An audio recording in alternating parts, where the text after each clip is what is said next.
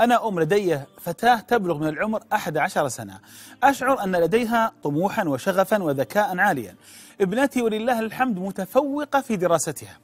يشهد لها الجميع بالتميز والنشاط من معلمات وطالبات وأقرباء كذلك. برغم ذلك لا أعلم كيف أبدأ بتنمية مواهبها وتطويرها والعمل عليها. أريد أن تستثمر ما لديها بما يفيدها ويفيد مجتمعها. فتكرما أريد إرشادات ونصائح كيف أرفع من همتها وأنمي هذه الموهبة وتقوية عزيمتها وإرادتها. أولا هذه النية الحسنة الجميلة الطيبة المباركة منك أيتها الأم. إني أنا أربي بنتي وأغذي فيها هذه الموهبة العالية لماذا؟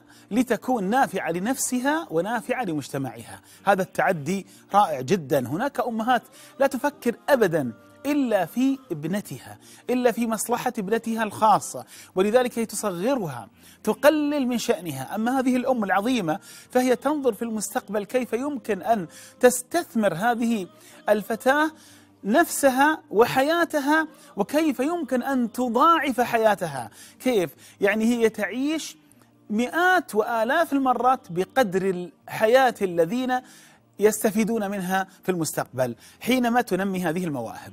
سأعرض عليك ثلاثة طرق ثلاث طرق. الطريقة الأولى أولا حاولي أن تستكشفي وأن تتعرفي على كافة مواهب ابنتك. فإن العلماء يقولون أن صاحب الموهبة لا يمتلك موهبة واحدة غالبا. غالبا يكون لديه مجموعة مواهب. هذا أولا. الأمر الثاني استثمري الأشياء الموجودة من حولك.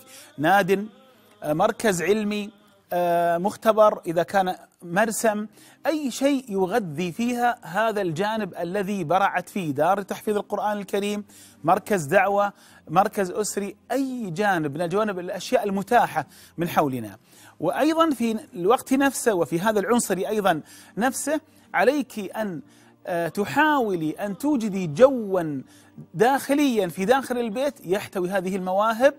ويغذيها. مكتبة في داخل المنزل ممكن يكون مختبر في داخل المنزل يمكن أن يكون أيضا مرسم. كل الأشياء اللي يمكن برا أنا أجيبها في داخل البيت. كمبيوتر متميز جدا إذا كان عندها مواهب تتصل بالكمبيوتر. أولا بأول تذهب إلى المكتبة وتتعرف على آخر مستجدات الكتب التي تأتي فتقرأ لأن القراءة هي الجسر الحقيقي لكل ما مر. من تراث الإنسانية وما يستجد منها باستمرار. آخر نقطة في هذه القضية وهي مهمة جدا هي أن تكوني مع ابنتك خطوة خطوة وتسانديها. فالإنسان الذي يريد النجاح من الطبيعي جدا أن تتعثر قدماه في بعض الأحيان. هنا يجب أن تقفي معها لتنهض من جديد.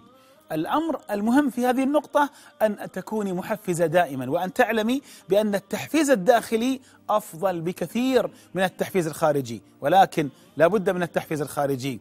أن نحتفل بإنجازاتها. احتفالات صغيرة لا بأس لكن نحتفي بها ونحتفل بها. كل ذلك سيكون إن شاء الله أجره في ميزان حسناتك وميزان حسناتها.